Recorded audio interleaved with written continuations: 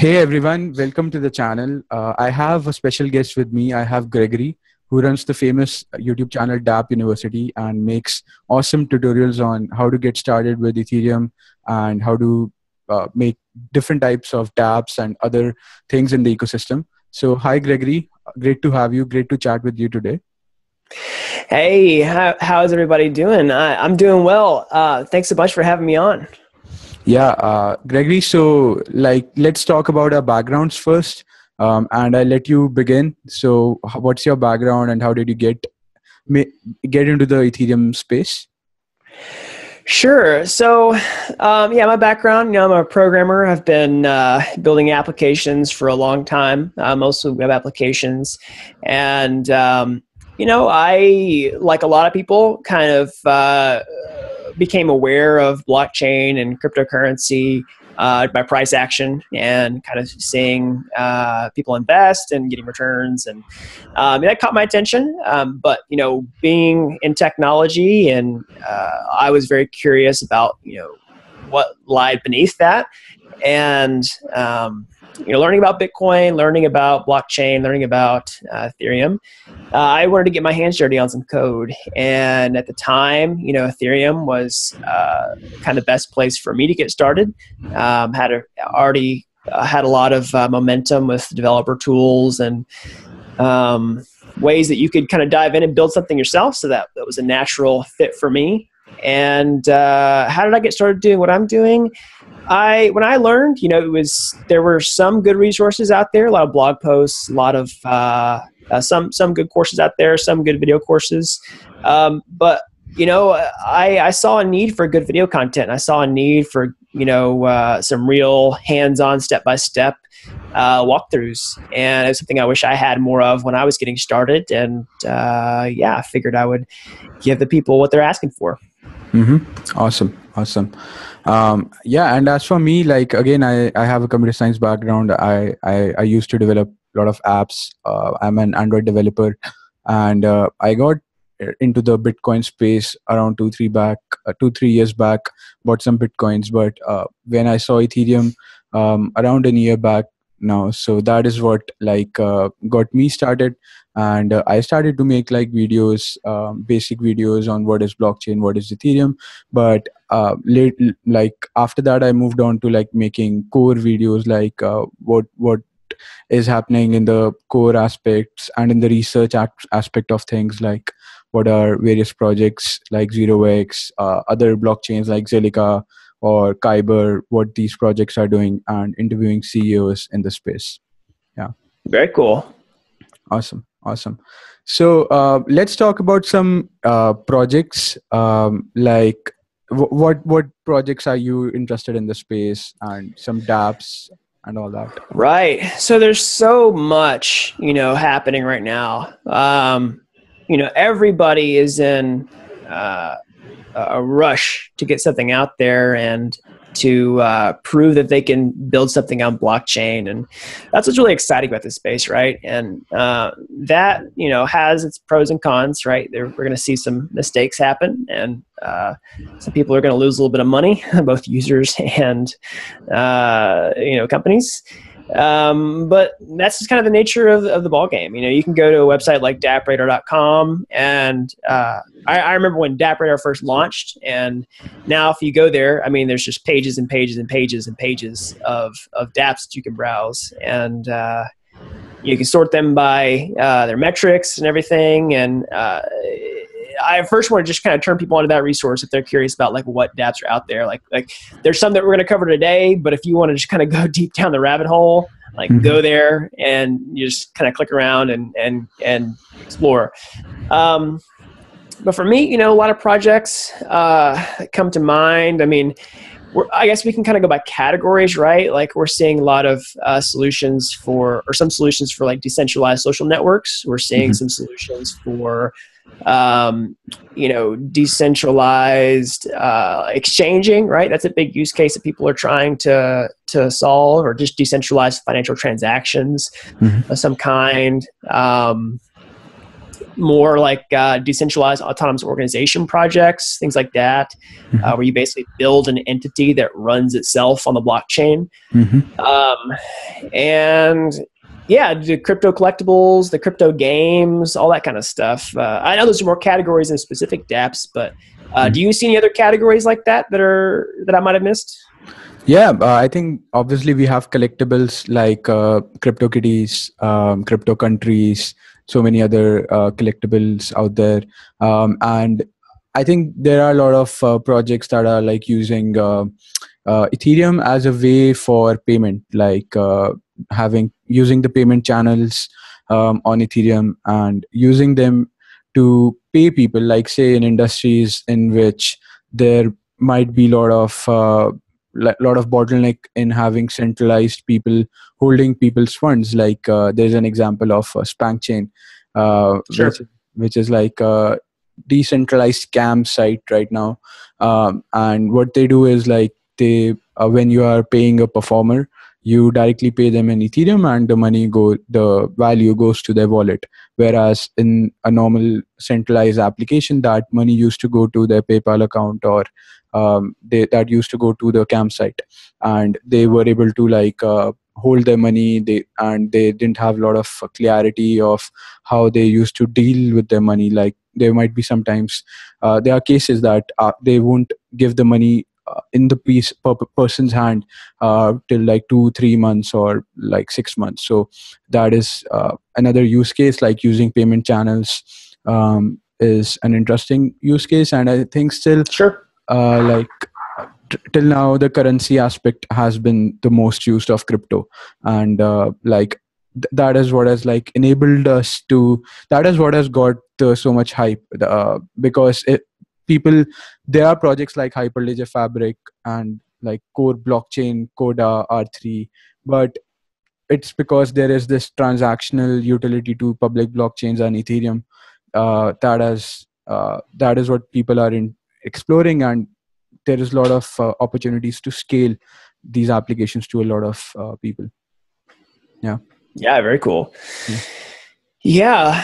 so the um yeah I mean, we can kind of like talk more about some of these use cases right uh um i mean yeah so so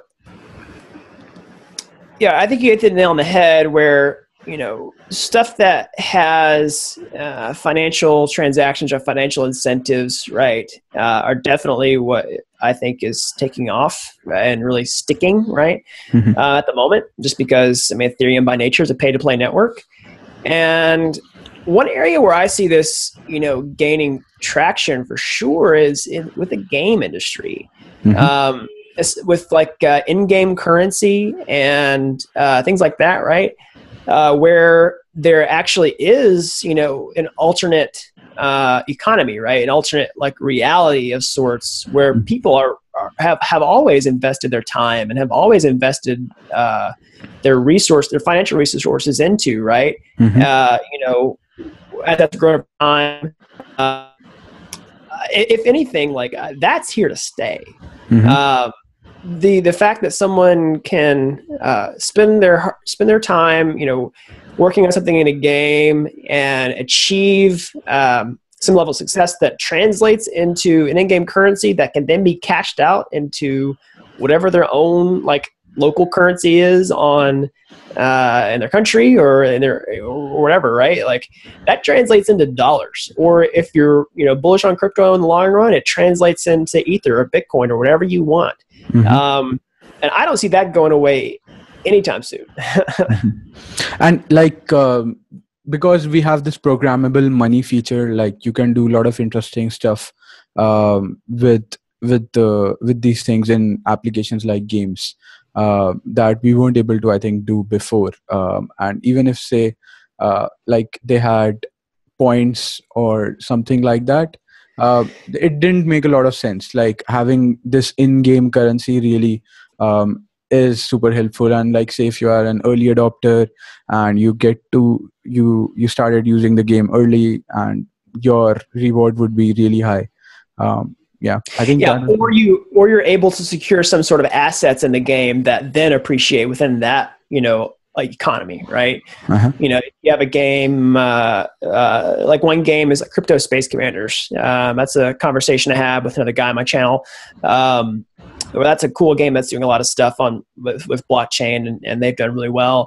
So, for example, if you were to create an asset in that game uh, or any game like it, and you were an early adopter of that game, and you know time passes and that becomes a coveted asset, or you've made it better, Mhm. um, then you have something of value, right? That can be, uh, I guess, done with, with whatever you'd like. hmm hmm Yeah, um, I wanted to talk about the decentralized exchange projects as well. Um, sure. So, like for me, I have seen like Kyber, um, Zero X, uh, Bancor, and uh, I, I think uh, Zero X is super interesting in a way that it allows you to create your own uh, relay um, and provide like build your own decentralized exchange in a way. And it helps to provide liquidity to a lot of uh, assets a lot of uh, crypto assets who might not be able to get registered on centralized exchanges. And like say if if you want to create if you have a speciality in real estate tokens like you know the real estate token game then you can build a decentralized exchange which has a speciality that it um, only trades in real estate or it uh, it is it it ha- it only trades and it has researched the whole real estate market and lists down most of the real estate tokens. So i think that is super interesting. Um, and uh, kyber is another one which is super interesting um, because kyber has eliminated like the order book system. Um, and it if if I, I used to trade at Kyber, like I used Kyber for trading, and it Mhm. almost feels like trading at a centralized exchange. Um, Mhm. Yeah. What are your thoughts on the space, like the whole decentralized exchange space? Yeah, totally. So I think the Zero X project's awesome. Uh, how they've, you know, uh, you know, protocols, protocols and standards are the big another hot topic right now. Maybe we can talk about that a little bit. Mhm. Um, they've really done a good job at uh, codifying those kinds of things for decentralized exchanging. Mhm. Um, yeah, we, we owe a lot, or yeah, the space owes a lot to that project in particular, just for um, kind of setting that standard and providing something that people can build up of. Um, I've got a uh, another video coming out with um, another decentralized exchange. It's called uh, ERC Dex, um, Yeah. American company. Um, so they're using the Zero X project. Um, another cool thing. Um, I guess uh, we mentioned briefly. I guess we uh, talked before. Uh, it was like the Bancor project, Mhm. um, where you know it's it's a different model. You're basically uh, trying to you're exchanging tokens for uh, a set price, right? You're not having to do uh, limit orders, et cetera, et cetera. Um, that's another kind of uh, project that I've seen floating out there, and people are using. It's uh, having pretty high transactions uh, per day. Um, I'm trying to think of what else. Uh, you mentioned radar. Did you mention radar relay? Yeah, yeah, yeah. Radar relay. Right. Yeah. Uh, do you have any more thoughts about that project? Yeah, Radar Relay has. I think it's one of the best uh, exchanges. Uh, ERC Dex is also super interesting, um, and Radar Relay, um, dYdX. These are interesting relays that I've built on top of uh, Zero X. Um, and yeah, I think they are doing a great job. Um, um, what's your opinion about like uh, decentralized exchange versus centralized exchanges? Because currently we can't actually move to fiat with the decentralized exchanges. That problem has to be solved, isn't it? Right. Um, that's a good question. I mean, right now, I think that decentralized exchanges are serving a special customer, a customer that wants to stay within the blockchain cryptocurrency uh, ecosystem, Mhm. um, for sure. And uh, I think I think they're just going to have uh, they're going to serve a different customer and they're going to serve a different use case, um, and that's just kind of the state of things for now. Mm-hmm. Mm-hmm. Okay. Um, I mean, I, I think I, so. Maybe to clarify that a little more, you know, there's two there's two two ways to approach this whole crypto game, right? Like, you're buying in and you're cashing or you're cashing out, right? Or you're buying in and you're staying in, mhm. and you're staying in, and you're staying in, and you're staying in. You know what I mean? Yeah. It's like the old. Uh, uh, was it maybe a Warren Buffett quote of some kind? I'm I'm sure I'm probably going to get it wrong, right? What's his favorite holding period? Life. Yeah. Okay. I think that's you know, I think there's a good amount of people who are uh, you know adopting that for crypto and uh, maybe not necessarily holding the same asset for life, but staying in the crypto space for you know indefinitely. So. Mm-hmm, mm-hmm. Okay. Yeah, that makes sense. And like, say, if we get uh, adoption, more merchant adoption, and all that, then that it's going to further increase this uh, movement of staying in crypto. Um, what, yeah. Go ahead. Sorry. Yeah. What's your opinion about, about uh, stable coins like uh, MakerDAO, um, the DAI token, Basis? Um, yeah, I don't. I don't have a very strong opinions um, at the moment. Um, I've seen a lot of these projects kind of pop up. Uh, yeah, definitely MakerDAO um, on the radar. Uh, do you have any particular opinions on the matter? Yeah, uh, I think uh, MakerDAO is a super interesting project. Um, then we have Basis um, as well. Uh, we have Tether and True USD. These are three, four projects. But I think MakerDAO is the is the most transparent of all of them because uh, they are built on top of Ethereum. So uh, right, uh, that is like that provides a lot of transparency. Basis just raised around 133 million. Uh, that is why they got into the news, but I haven't seen anything I, I, I, I read a bit of their white paper, but it didn't excite me as much as MakerDAO does. Right. Um, yeah, and that's the thing. But I think stable coins are really important. Like, uh, like say if I am a merchant, um, then I, I would accept stable coins other than uh, like say Ethereum. Uh, if right. Yeah. So stable coin problem is going to be uh, huge. Like even in say the games that we see um, that we were talking about earlier. Um, if if if stablecoin concept can be introduced i think that might overpower the token of the game. Um, if if the trading is done only in stablecoins, uh, then yeah th- that that might provide more utility. So I, am right. really excited about the space in general but uh, uh, there is there is a lot that needs to be done. And the trouble with makerdao that i can share is like uh, what people are criticizing is like uh, say what happens is in makerdao is like say if the price of ethereum um, is going up then there is no issue. Uh, it, it has two tokens. One is the dao uh, maker token another is the dai. Dai token dai is the stable mm-hmm. coin. It goes to it, its value is close to 1 usd um, but the trouble is when the price goes down um, then there is an algorithm to uh, get more maker token in supply and uh, there is an algorithm to adjust the price of the dai token so that it should remain one us dollar. But if say the price goes from $700 to $10 within say two minutes or one minute uh, then the, there might be some issues with the algorithm so, uh, or say right. there is a bug in Ethereum and it just goes down to zero, then uh, or it goes down to say one dollar or something. Then I don't think so. It uh, th- there's some trouble with that system. So yeah, right. Yeah, yeah, totally. Yeah.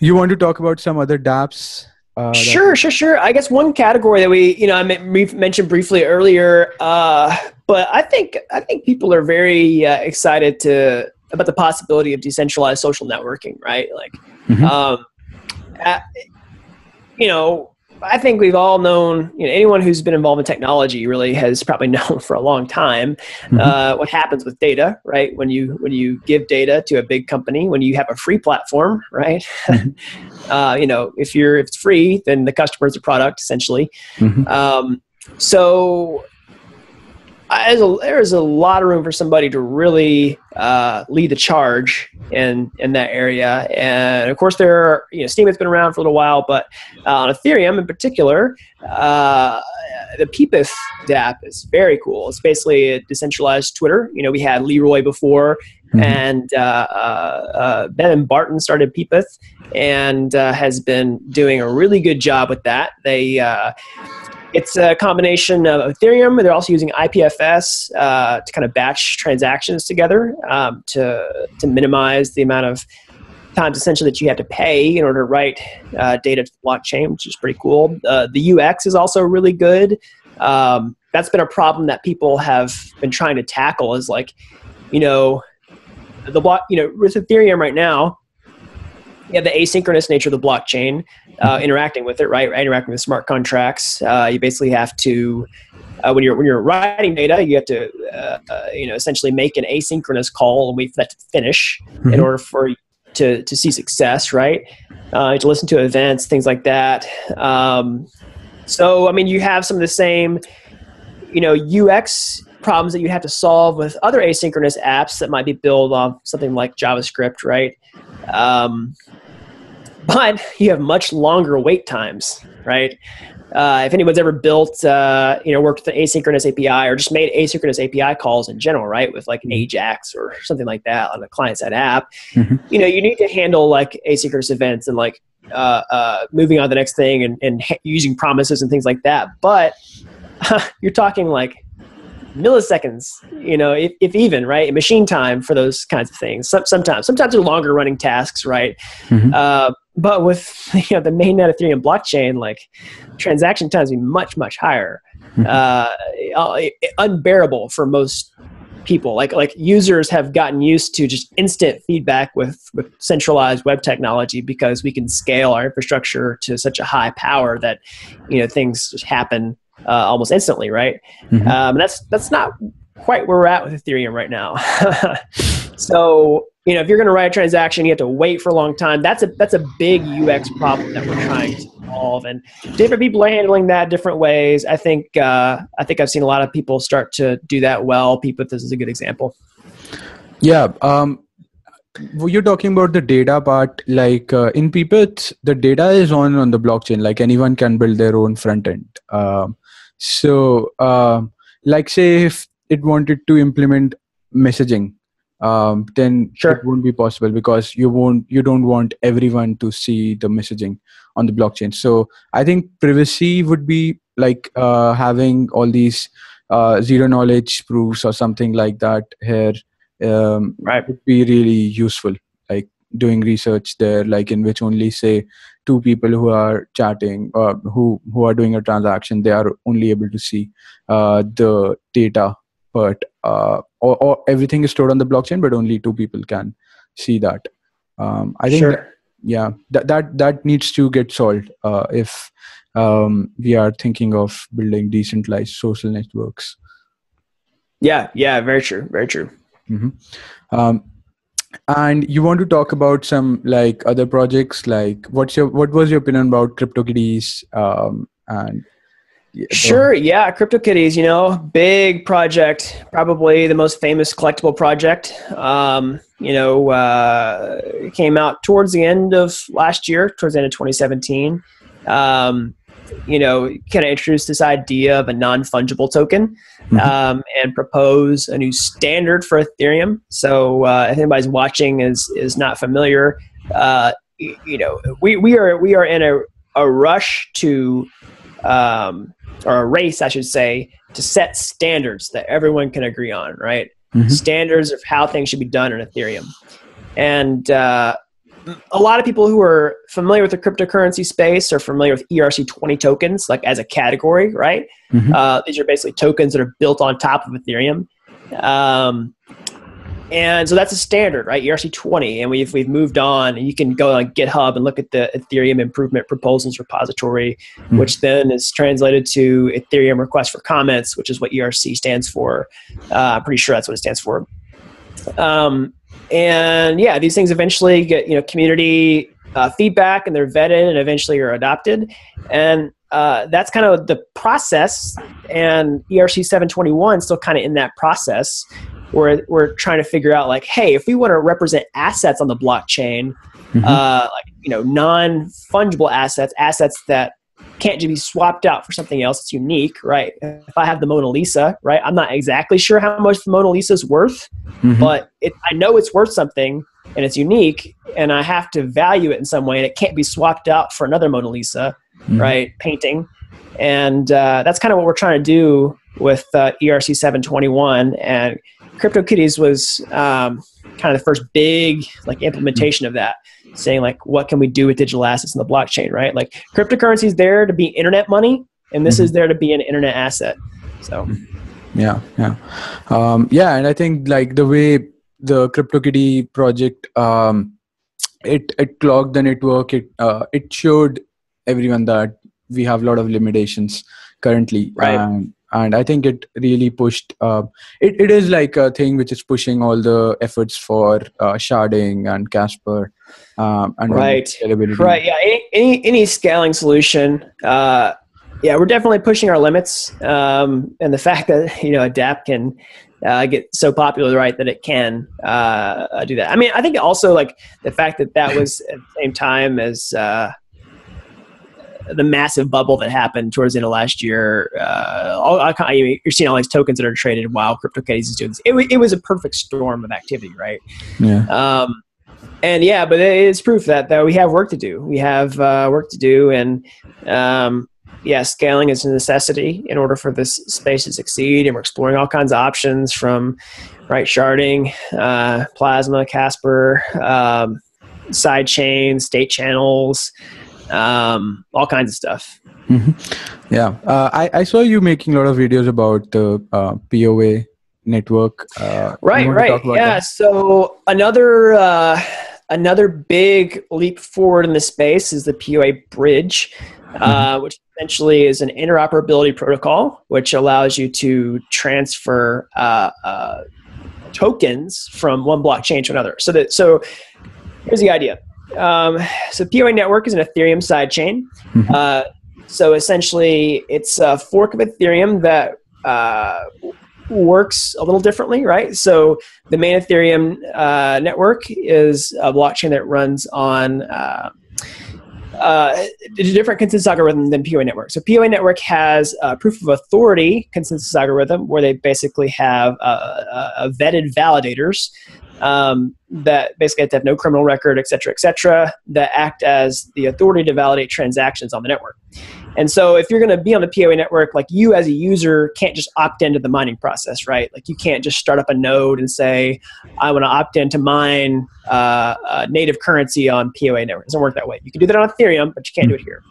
Um, so if you're on that network, right, and you have um, you know native a native ether essentially like on that network right but it's a, it's a, a native poa currency Mhm. uh, what happens if you want to get access to a liquidity market elsewhere right? Like how are you gonna how are you gonna trade that for something else right? Like uh, you would have to have access to a liquidity market like on the network itself right? So if you wanted to get access to a different liquidity market, uh, you would need a bridge, and that's what you know. One big use case for this. Uh, so they have a, an ERC20 implementation of their token on Ethereum, Mhm. um, and that's what the bridge allows you to do. Allows you to move back and forth. So you can take your own uh, native uh, POA currency and uh, transfer it to the main Ethereum network to get POA 20 tokens, which is an ERC implementation, ERC 20 implementation of their currency, and and vice versa. So you could simultaneously buy into the network by uh, purchasing POA 20 tokens on Ethereum and then moving over to POA network.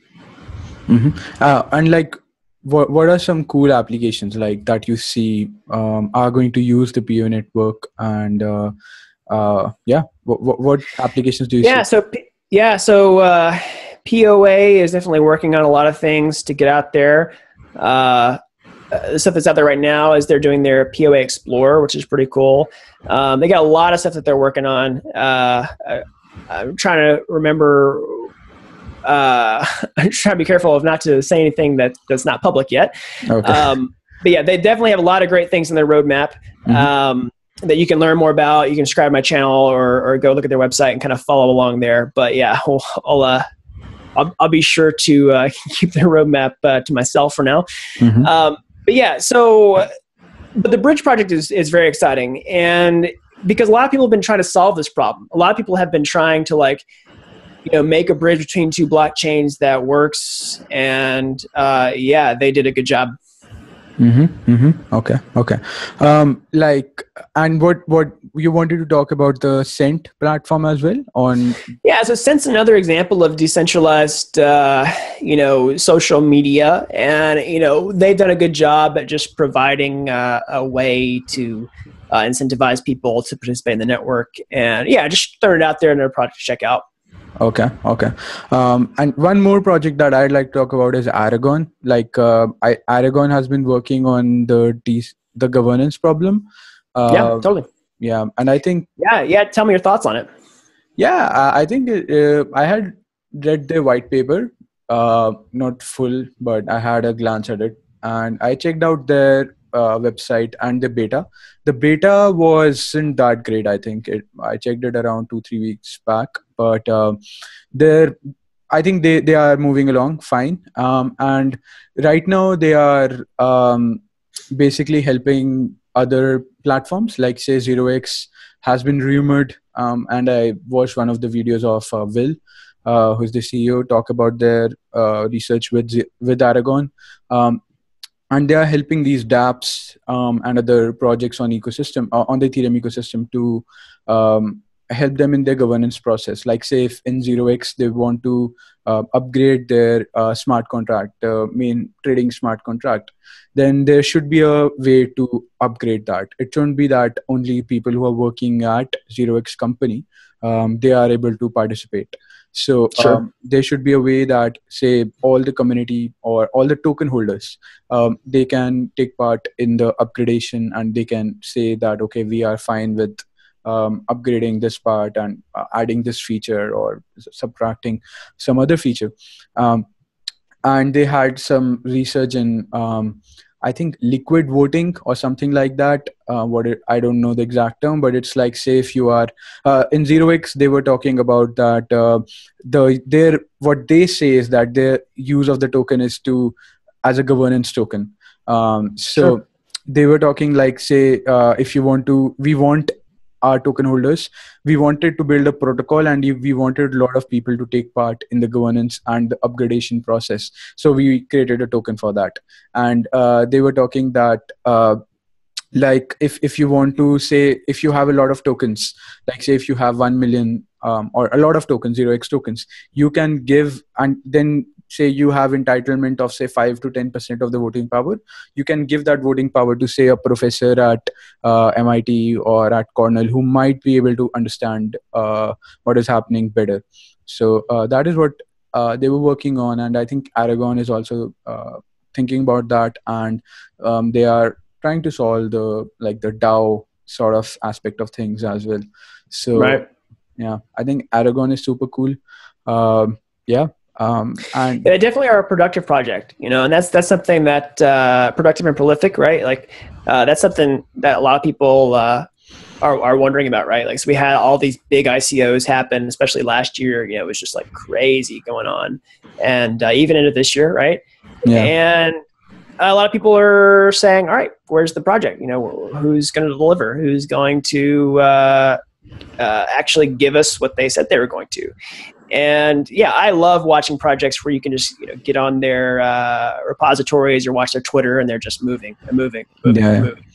Um, and I think is doing a really good job of that.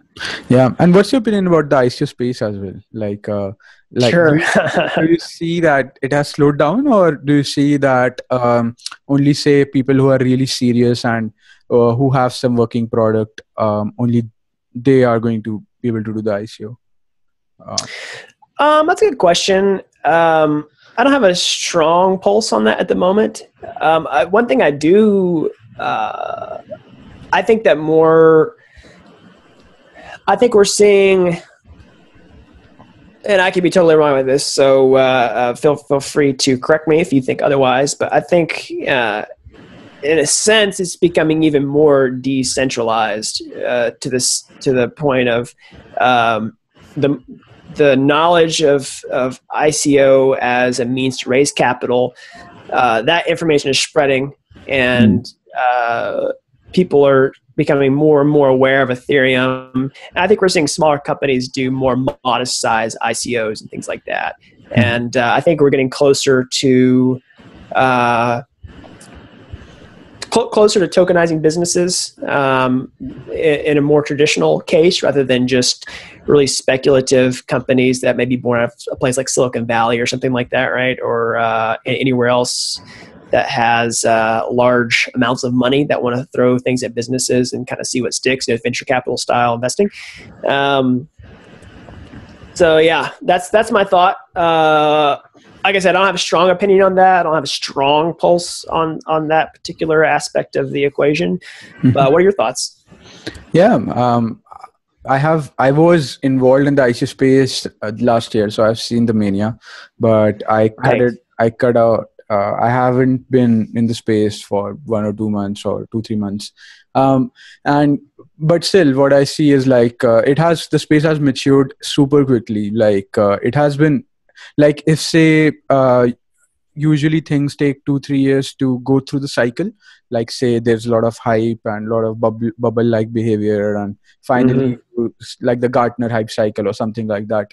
But i think in the crypto game everything is uh, so compressed time wise yes. Like, that hit the nail on the head. Yeah everything moves way faster yeah. Because there's so much experiment the rate of experimentation is super high. So um, i think that's the reason for that. And like say in a normal startup game um, or say like say in, in, india i can give you an example. Like uh, when the startups ecosystem was developing here the there was a lot of startups who were just raising money. Like uh, when the vc ecosystem was developing here uh, there was a lot of bubble like behavior and it took around two three four years to uh, finally uh, get to the equation that people started to realize that these are good projects and uh, that is how the things work.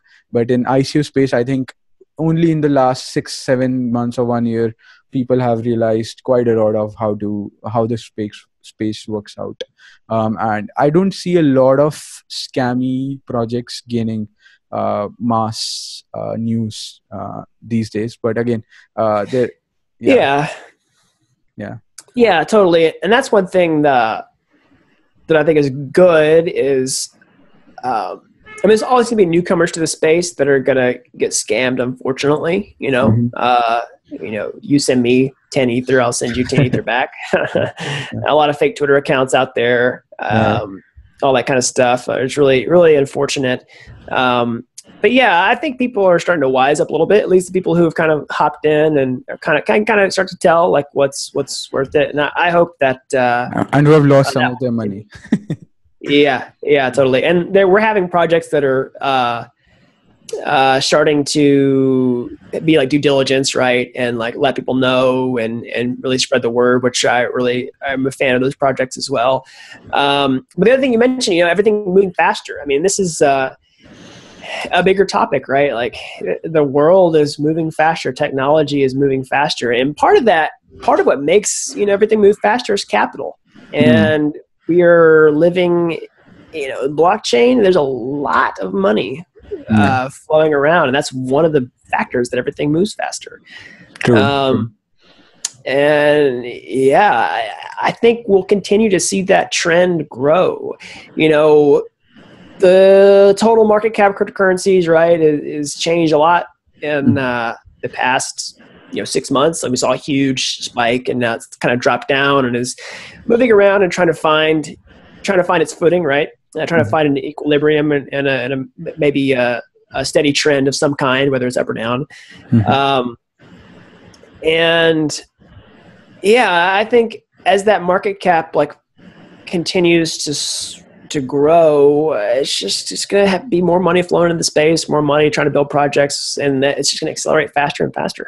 Yeah, yeah. Um, and I think I wanted to talk about. Uh, I had interviewed a uh, ConsenSys project called Balance, and I think it was relevant for the ICO space. Um, and sure. uh, what they were doing is like, say, they had built an accounting software for um, people who are doing ICOs and token sales, um, and basically they that they uh, set up the their lot of nodes uh, on say the smart contract, ICO smart contract, and uh, they had built a lot of tool sets. Like say if a company raised 20 million dollars and um, they have they had they divide like say 10 million has to go for the product 5 million for legal 5 million for uh, marketing or something like that.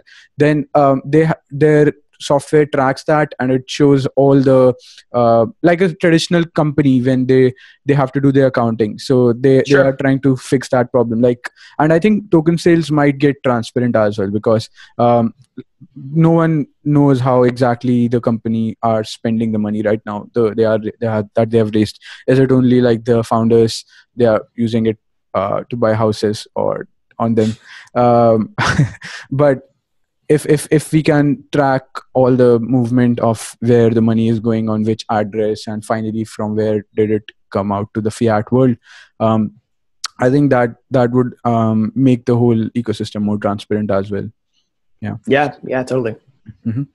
um, so I, for the final topic, I wanted to talk about to, to you about the whole uh, DApp ecosystem in general. Like, uh, where do you see that?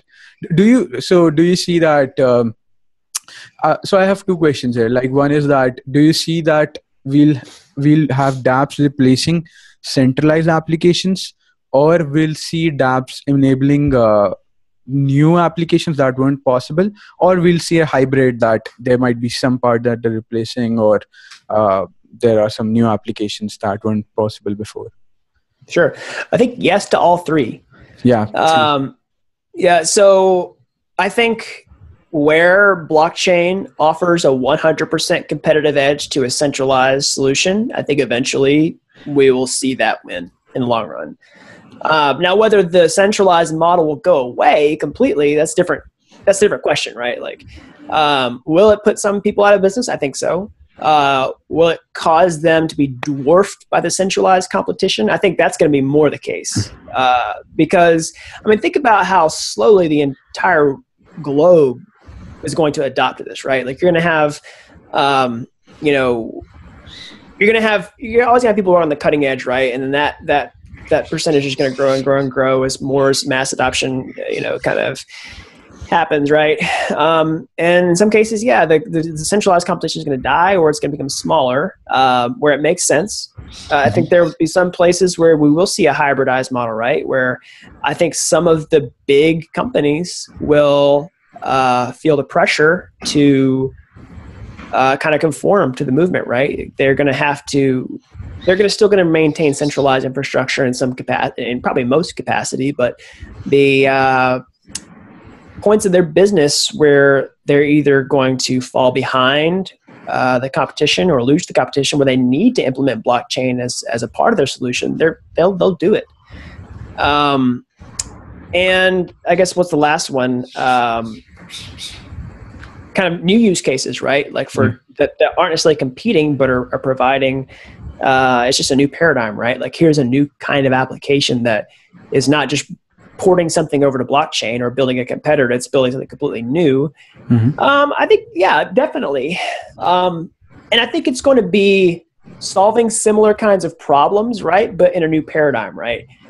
As we move into the blockchain space, as we move into Ethereum, and you know, if you believe in the token economy and you believe in all those kinds of things and how like crypto economic models work, um, yeah, there is a paradigm shift, a new way of thinking, a new way of uh, uh, new use cases that are going to come up, right? Like use cases for what I can do with Ether and how I can move that around. Like, sure, in a, in a sense, that's competition for our new way to solve like a money problem. But I think about that completely as like this own ecosystem over here and how what I can do with tokens and how I can do like you know tokenized voting and things like that and like anything where you're starting to talk about token economics like those are new use cases in my mind so Mm-hmm. Um, I- yeah, I think for me, um, I'm even think I think about these things like, uh, is Ethereum the killer? Like, do we really Sure. need the tokens? Uh, so Sure. many tokens. Can't we only use Ethereum? Uh, I think that, like, say we uh, Peepeth is a good example for that. Like, it it doesn't right just uses normal Ethereum, no other uh, bullshit. Uh, and I, I do think about these things because uh, like say if you are a user you don't want to buy a lot of tokens. You don't want to uh, buy um, a specific token to use the platform. Um, or, or or or there might be a say some uh, wallet providers that enable exchanging of the tokens. Like say if you want to use some service um, you you just ha- only have ether and within the service uh, it will convert to the token. I think uh, that also need, would need to be figured out like uh, how that would happen out. Um, sure. Yeah.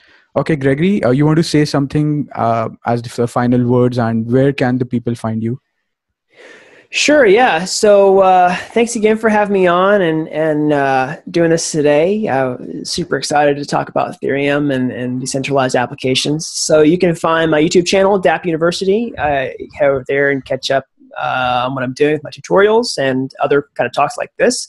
We're talking to people who are building on top of Ethereum. Um, you can check out my website, which is dappuniversity.com, where you can find some uh, free downloads and some step by step written articles and things like that about how to build decentralized applications on Ethereum. And yeah, if you're watching and you are wanting to build an Ethereum project, um, yeah, let me know. You can contact me on my website as well. And uh, yeah, thanks again for having me on. What about yourself? Yeah, yeah, just uh, I think I, uh, you link down my channel as well. You can follow my channel. I, I'm I'm going to more talk about the research aspect of things and what is like scalability, governance, and all these issues, um, um, and all that stuff. And uh, like if you want to see a list of DApps, I recommend uh, DApp Radar. I think you recommended, and uh, State of the DApps um, is another site that I use.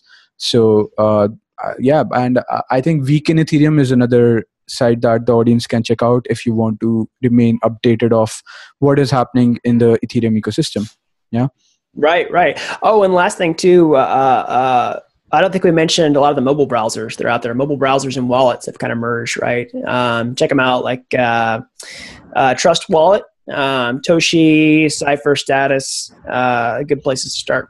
Mm-hmm, mm-hmm. Yeah, I think uh, checking out app the dApps on Toshi um, and trying them out is uh, super interesting. They have around 30, 40 app dApps, um, and I think all of them are decent. So yeah, yeah, yeah. yeah. Okay, uh, great talking, Gregory. I learned a lot from you today. Yeah, thanks. Yeah, you too. Yeah, awesome. I really enjoyed this. Okay, okay, okay. All right, everybody. See ya. Bye, bye.